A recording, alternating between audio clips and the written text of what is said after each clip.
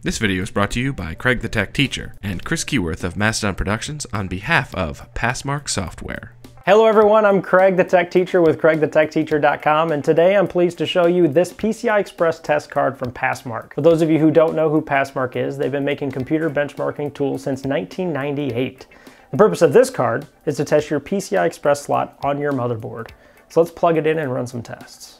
Passmark's PCIe loopback card provides the following quick LED indications. These are probably some of my favorite features because they will give you immediate PCI Express diagnostics as soon as you apply power to the motherboard. This front side of the card has five green 12 volt success LEDs, and one red 12 volt failure LED, three green 3.3 volt success LEDs, and one red 3.3 volt failure LEDs, and finally two power supply green voltage LEDs along with two red failure LEDs. Essentially, just by glancing at these LEDs, you can tell whether all the voltages on the card are good or not. The back side of the card has one transmit green LED along with one orange receive LED which will light up during testing. It also has one red IO error LED which should never be lit if your PCI Express slot is operating correctly, along with one sleep LED and one generation 2 or 3 LED. Finally, there are LEDs which indicate the current software test being performed, whether it's loop, benchmarking, or voltage. You'll notice there are two separate connectors, one for PCIe times 1 and one for PCIe times 4 edges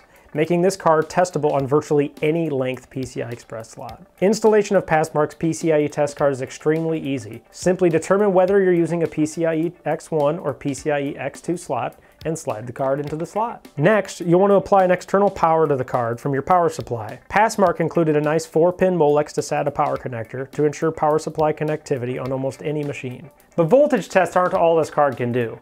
Let's use Passmark's included free software to do powerful benchmark tests on our PCI slot. After installing the drivers and launching the software, we will start getting immediate feedback from our PCIe test card. Here we can monitor the voltage and the temperature. We can also begin the loopback test. At the conclusion of the loopback test, based on the number of verification errors, an indication of whether the test passed or failed is displayed. We can also perform a benchmark test to verify the data transfer rates of our motherboard's PCIe slot. Another great feature is the ability to perform additional voltage and temperature checks to ensure there are no long-term fluctuations while benchmarking our slot under long periods of load. You also see LED flashing on the PCIe test card to indicate transmission and receiving during the test. I've really only scratched the surface of what the PCIe test card can do from Passmark. If you want to learn all of its capabilities, make sure you check out the website at passmark.com.